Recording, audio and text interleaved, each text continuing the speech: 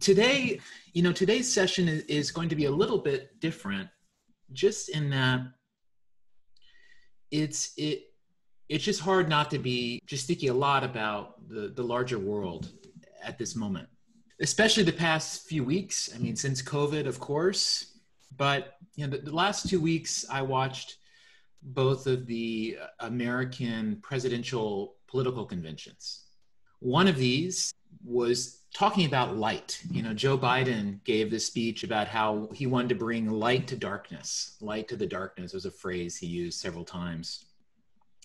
And then this past week was the Trump convention, and that that convention was all about darkness. It, it embraced the darkness, and, and Trump warned of a, a world that's already dark that would become even darker if he was not in power. I would guess most of us in this room want to believe in the message of light, right? We, we are optimistic. We believe that if we choose differently, different things will happen, that this is just simple physics. And I think a, a lot of why we're here is because we believe in that. And we're looking for that lightness in the world, and we want to create that. And I feel that way too. It's why, it's why I'm here. But there is another part of me deeper down that wonders whether the story of darkness is more credible. As people look at their lives, as we look around the world, if we don't see uh, even more darkness than light, and whether that message of darkness might have more resonance, even if it say is has some fundamental mistruths that it's grounded in.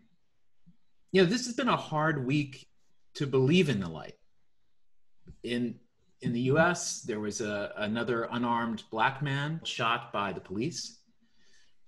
In the days since, five protesters have been murdered. Four police officers have been killed. Black Americans and many Americans are feeling new levels of despair. There's a small town in Wisconsin that looks like a bombed out war zone. And the US is on real edge. You know, around the world, climate change is getting impossible to ignore as hard as we keep trying. There's the fires in the US and the hurricane, there's floods in Asia, heat uh, all summer throughout all the world. You know, I, I believe in miracles. I believe that things can get better. I believe that global warming can stop. Removing pollutants from the air is not impossible. It just takes a lot of effort and and i want to believe that you know that the story gets better. But at the same time while being optimistic i, I think we we have a duty to be realistic and to also question whether this story that we've told ourselves that life will always get better that we face up to that that probably not actually being true. And that perhaps this past 80 to 100 years of world history of relative peace and general growing prosperity with many issues, but that maybe this period is more of the blip on the radar and periods of tumult and upheaval are a bit more common. I don't want that to be the case, but I, I do think that we have to be realistic optimists. And especially as Bentoists, I think we're actually well equipped to do that because we are already thinking of ourselves and thinking of, of time in terms of now and the future. We can distinguish that things aren't, won't always be the way that they are, and we try to be prepared. Looking around the world now, I think we have to we have to bring that sort of realistic perspective, and perhaps we have to challenge ourselves and, and say that it's possible that our standard of living and what we expect from society from the food we get to eat to our freedom of movement to the social relations, that those are all things that might be in a period of decline. Looking around the world, it kind of seems that way, right? I mean, we're, we're hoping some of these are blips in the radar, but it kind of feels like that's what is happening. And in my newsletter today, I wrote about a book called Limits to Growth. This book, it's a sort of analysis of the world by these MIT professors, systems thinkers, and they built a computer model that took all these inputs that they had in 1972 and just tried to project out what, what might happen based on this. And the big takeaway from the book is that we would have what they call an overshoot, which would mean that we would use more of the, res- the Earth's resources than the Earth can restore, and we would just sort of be bleeding the Earth dry over time, especially as population grew. There's this one chart they show in the book that's pretty wild. They show this graph of human welfare, which they define as just your standard of living. And they are showing that this human welfare increases. And in the book, they say in the, like the most optimistic scenarios for humanity, around 2015, we would reach the limits of our human welfare. And from that point, we would begin a period of decline. Now, one thing they say is that this wouldn't be a decline like one day you wake up and the world is just awful. Instead, what would happen is that we would have to put more and more of our energy and our resources into trying to, say, uh, solve these challenges of, of loss of resources or of an unstable environment. A lot of this was written before global warming was, was known about. We would have to be spending more of our energy and more of our resources to try to just basically stop up the dam. And as we would be doing that, our resilience would diminish and our ability to apply our energy to other things would, would diminish. And ultimately this is where you start to see that decline. Now now the book talks about there are all these ways that that could be better. And it also stresses that a world of a declining human welfare does not mean like a dystopia. As we've seen with covid like we adjust to a new normal quite quickly. But it just does suggest that the dynamics of the world might be quite different you know one one of the things that the one of the authors of this book Donella Meadows who's a systems thinker one of the things she writes about is that ultimately our undoing, if that were to happen in their models, comes from not some mega crisis, you know, the tidal wave that, you know, the mother of all tidal waves. It instead comes from a series of crises. And actually, each one of these crises on their own might not be that big a deal, but it's just the way they stack up on each other.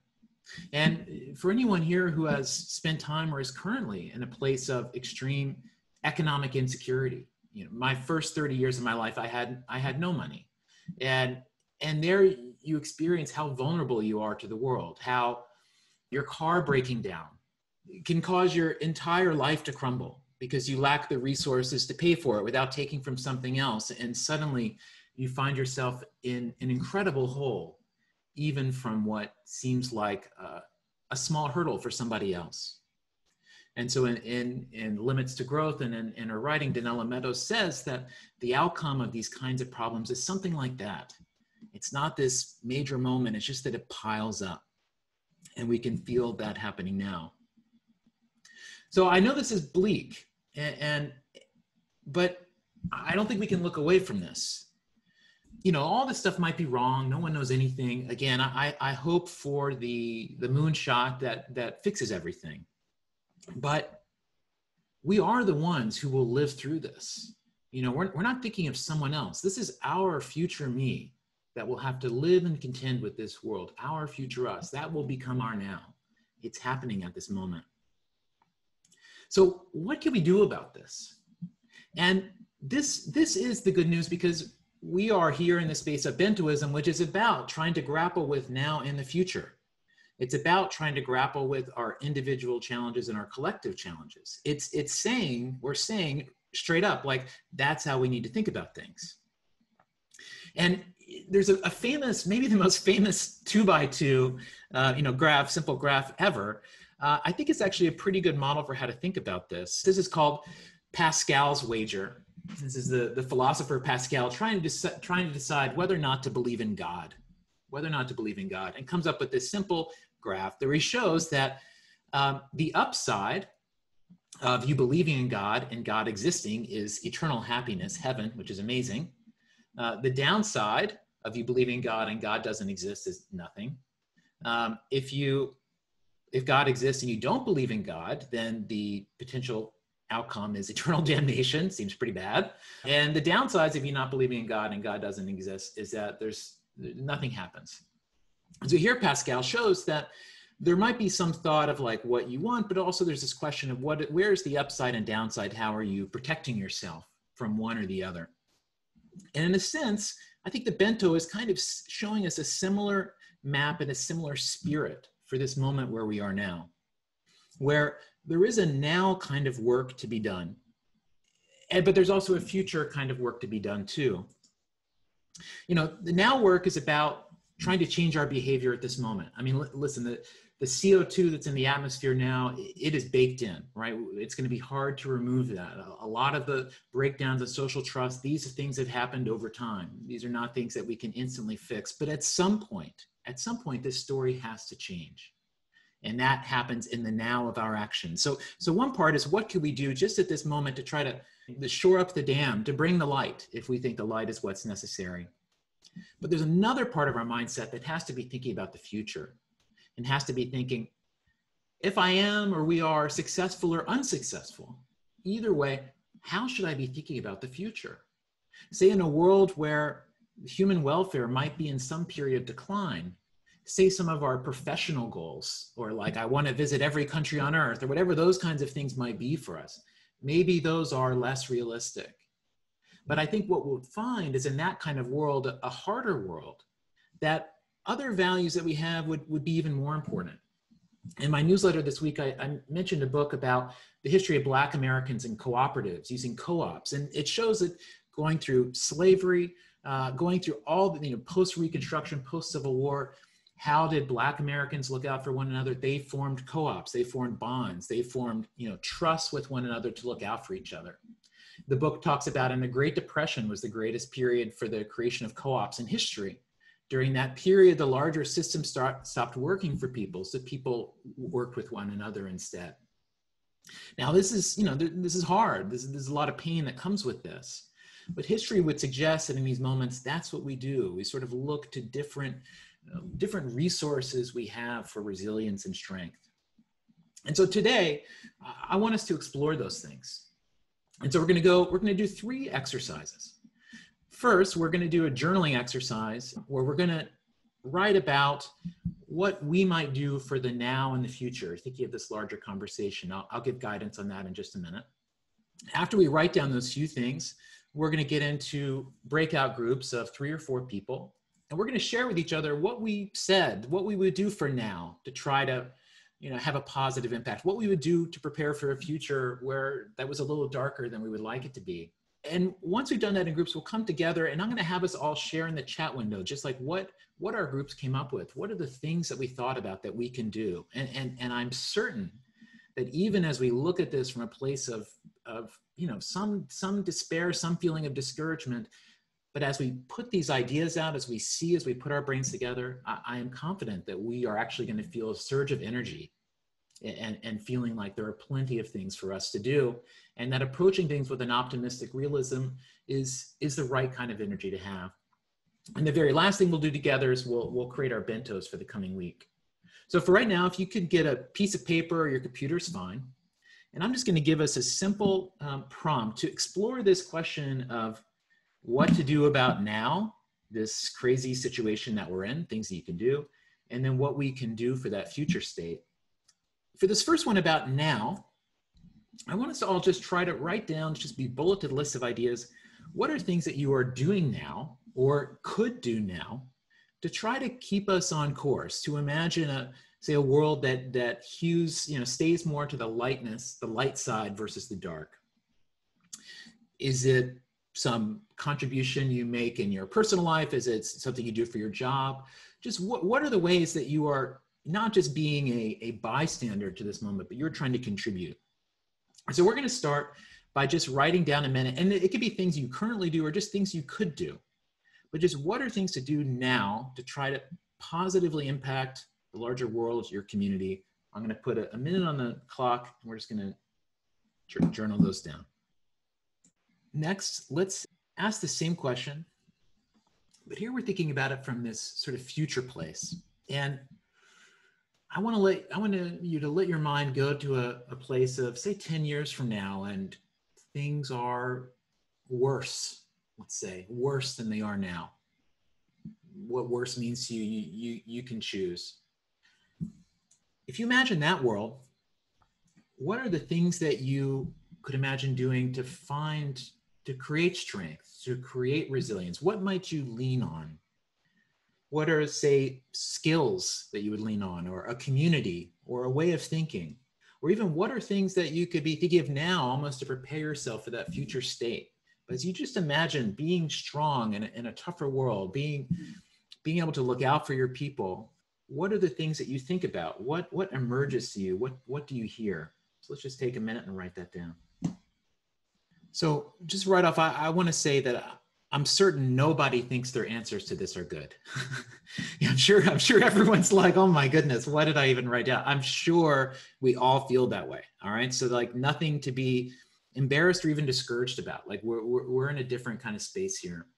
But my belief is that if we're with one another and we are sharing these things, that we're going to hear some ideas that actually do feel true to us, that do feel resonant. So what I want to do for the next 20 minutes is we're going to go into these groups and we're going to start just say starting with now and each person in your group will go around and you'll just share the things you wrote down in now and don't like share them share them. Don't everyone's is going to feel insignificant whatever don't don't worry about it just share them all right? Uh, and you'll do the same with the future those future items and then i would just ask you have a, a conversation. And the conversation should just be like let your energy be pulled towards the things that feel that resonate that feel real that you believe in that you, that you believe have some grounding in truth. And when we come back together we're just going to have each group i'm going to ask you to just post in your chat like what are the three things let's start try to say three things for now and future that your group said. And then we'll have a little discussion about that. But again trust me out of this process we're going to go from feeling like what the hell to actually feeling okay we maybe there's some things we can do here. All right? Uh, welcome back welcome back. So would love if we can we can have a discussion and while we're doing the discussion we can post in chat. But post in chat the things that came up in your group. I'm going to post my list right now and i'll i'll read it to you just to, to start us off. But would love to hear what came out of the group. So my now things i could do i thought using the bento lens as a way to sort of see these different areas is like a, a, a, very positive thing to do. Another now thing, participating in the political process. Third now thing, just sort of caring for the people, trying to, uh, I don't know, get them in a place of strength and resilience for what could happen. Future things I could do, embrace mm-hmm. intentionally downward mobile living, just changing my expectations for what life should be, building my self esteem and value on more replenishing values like togetherness. And then again, using the bento as just a way to see where I am. Would love to see other things in the comments or just hear from people. So, what, what came out for folks? I, I, genuinely feel better about the world having heard that. I don't know. I don't know if anyone else. I'm like, oh, okay, great, yeah, I'm in. Sign, sign me up. Thank, thank you, Andrew. Thank you for sharing that. You know, one thought that occurs to me listening to Andrew, and it's it's showing up over and over in the chat, is is about that community and and finding that resilience in one another and I, I, for sure see this group as as one of those communities. You know, I, I, I believe we will all have multiple of these in our life. But one thing it makes me think about is is as we take this, you know, optimistic, realistic view of the world, that we we should perhaps be intentional uh, about the kind of community we are designing here. What what it is we do want to be, in what ways we do want to be here for one another, because there is, say, this shared space where we come and talk to each other, but there are also all these other connections that happen and all these. I mentioned this idea in an email before, but all these sort of thirds that happen, you know, when two people come together, there's a third space created by them. There's a lot of thirds around all of us. So, you know, we can actually think about how we want to design our energy in that way, you know, how it is that we are supporting or teaching each other and I, and I, think that's something we'll, we'll talk about at, at an upcoming session. So the very last thing we're going to do here in, in, the final 10 minutes, and I love everything in the chat. I'm going to write some of these up later. Um, and we could continue the, the, conversation in Slack. Last thing I want to do is just prepare ourselves for just this week. So here we're thinking about the distant future and all these things. Well, let's think about the next seven days. So we'd love for you to just on a piece of paper, just draw a blank bento, just the four boxes of now me, I'll put the screen, uh, now me, future me, now us and future us, leaving those boxes themselves blank because we're going to write in them. And I'm doing the exact same thing right now. And just to get our heads right, would like to have everyone just uh, sit up straight and we're just going to meditate together for just a minute or two and help sort of see these spaces. So I ask you to just sit with some good posture, close your eyes. And let's just start by breathing in through our nose and out through our mouth, just sort of eyes, head straight, looking straight forward, eyes closed, just three breaths.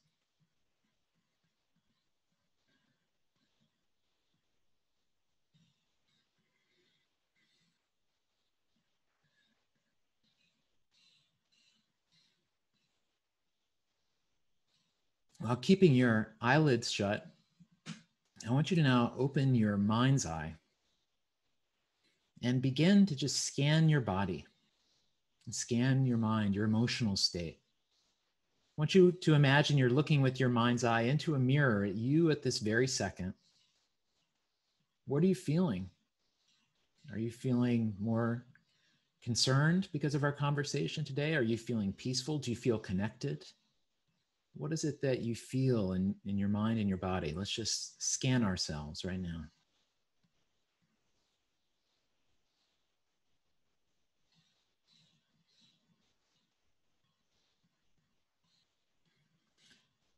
lift your chin and look up and a little bit to the left.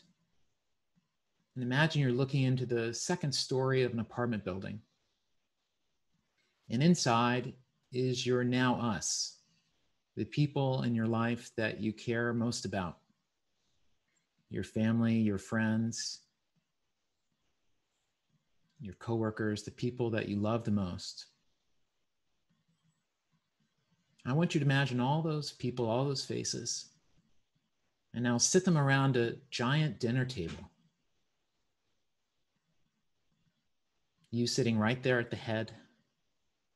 And now I want you to take a Polaroid and imagine just seeing all those faces sitting there, all those people that are your us.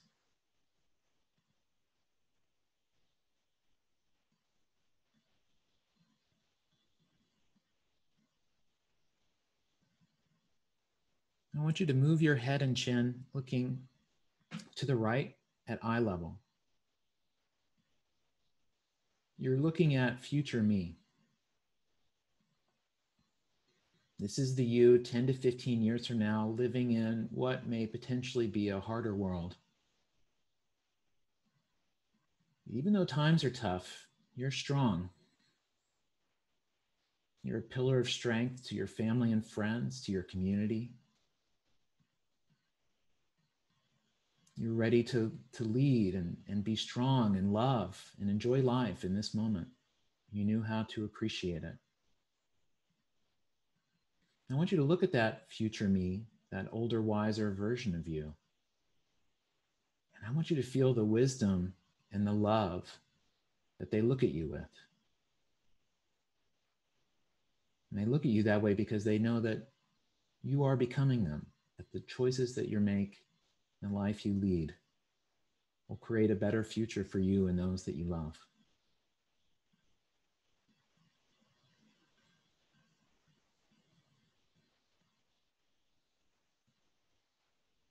Now lift your chin, looking up to the right.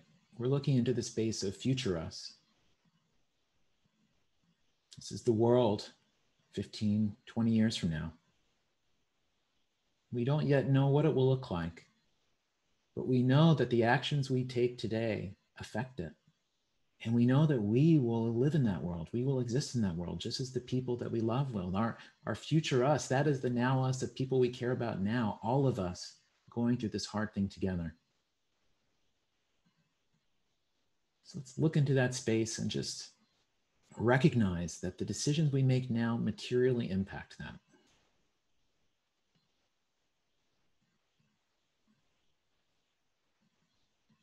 Now turn your eyes, still closed, but looking straight ahead. I want you to imagine you're standing tall and you're standing astride all four of these spaces the now me, the now us, the future me, the future us. in your strength and in your stature you you exist in all these spaces. You you hold them up you carry them you add to them. And all of these are who you are. One more breath in through your nose and out through your mouth. Now open your eyes.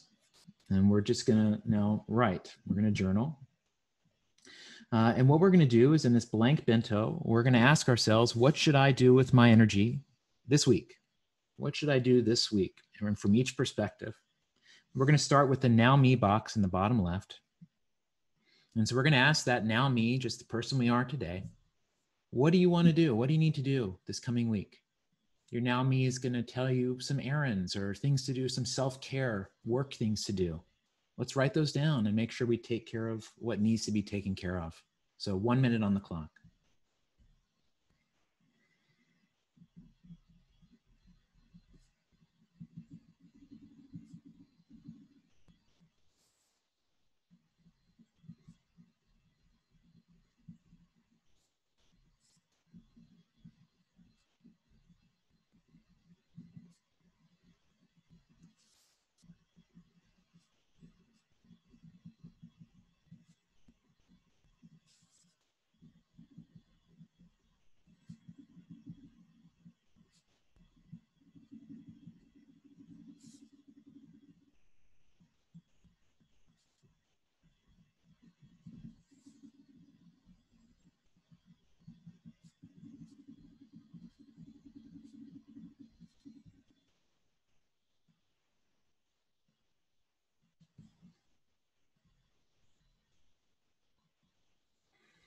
All right, that's one minute.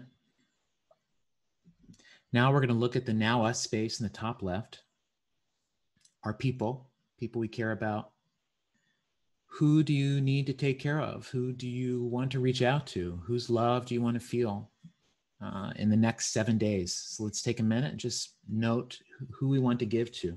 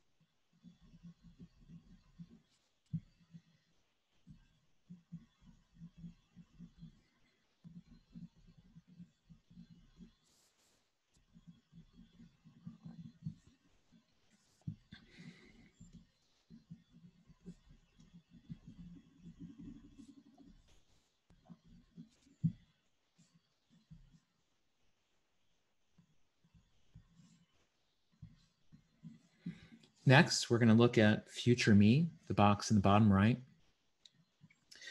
Future me, you're listening to that older, wiser version of you, and you're you're hearing its words of wisdom. You're hearing its mantras, its advice. It's telling you, think about this, don't think about that, worry about this, don't worry about that.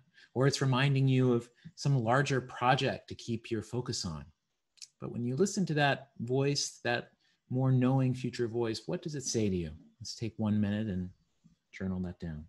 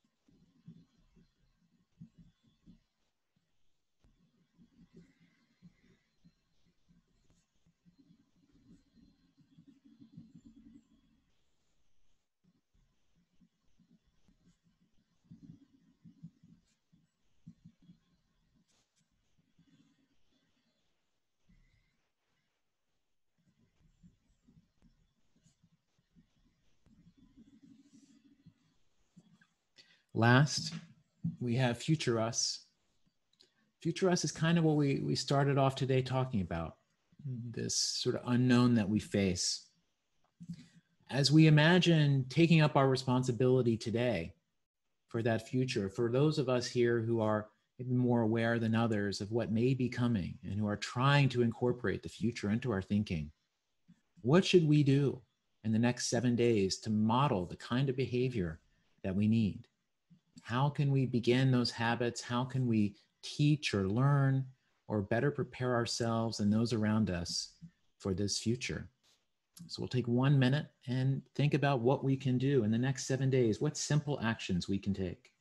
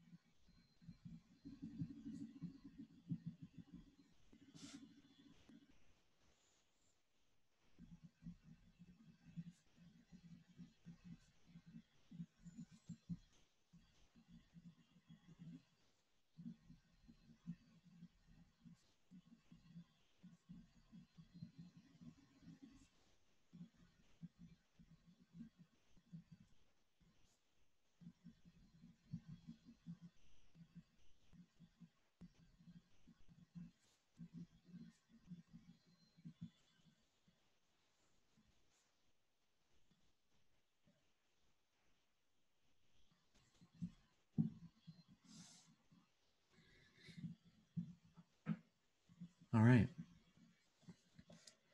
So I would encourage you as a approach this week that you keep what you've written here in front of you. I keep it next to my desk. I cross things out or check them when they happen.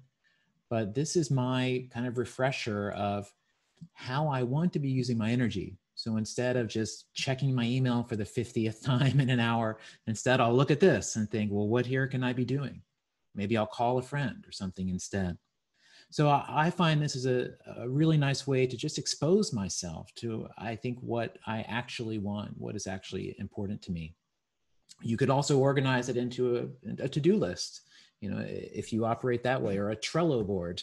Um, but I think incorporating this perspective just into your day-to-day is really helpful, and it's what manifests that these kinds of realities you know, I, I want to thank you all for being here and and and also for participating in a in a heavier conversation and and, and one sort of looking into some of the darkest places around us and, and maybe accepting the idea that not everything is going to work out the way that we want but thinking how do we respond in that moment? How are we prepared in that moment? Because we'll especially be needed then.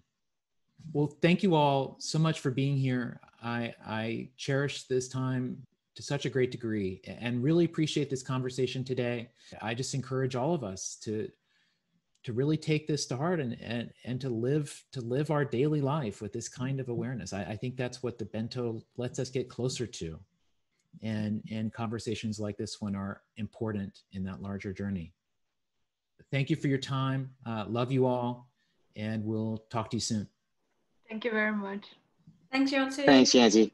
Thanks, Yancey. Thanks, Yancey. Bye. Thank you. Bye. Bye.